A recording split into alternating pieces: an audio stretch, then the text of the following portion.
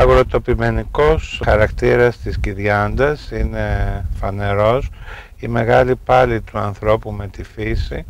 Εντυπωσιακός είναι το τρόπος με τον οποίο συνδυάζει την ναυτική παράδοση με την α, και αγροτική ζωή. Η Κυδιάντα υπήρξε η Μητρόπολη της ε, κατοπινής ε, Λαγκάδας και της Οικιάδας. Καταγωγή όλων αυτών των οικισμών, των κατοίκων, των προγόνων των κατοίκων αυτών των οικισμών έρχεται από τα μακρινά κύλα, πίσω ακριβώς, πάνω στα βουνά, είναι τα μεσαιωνικά κύλα. Η Ριάντα εγκαταλείπεται τραγικά την περίοδο του εμφυλίου.